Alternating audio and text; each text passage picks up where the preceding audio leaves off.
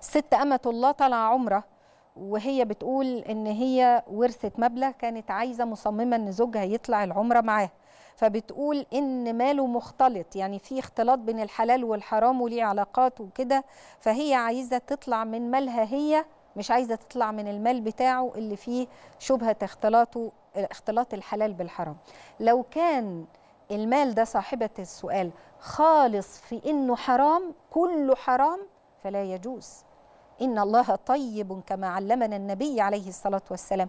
إن الله طيب لا يقبل إلا طيبا فلابد أن إن الإنسان أنا هطلع أأدي العمرة لابد أن تكون من مال طيب حلال.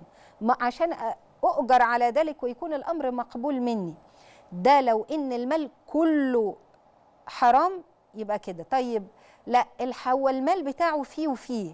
فالحرام مش متعين في المال بتاعه.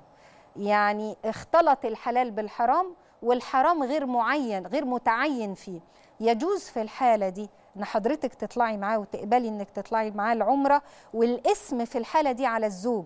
إذا كان الأمر كما اخبرتي صاحبة السؤال وزي ما دايما بنقول العهدة على راوي السؤال. وعلى كل حال نسأل الله السلامة نسأل الله السلامة نسأل الله السلامة.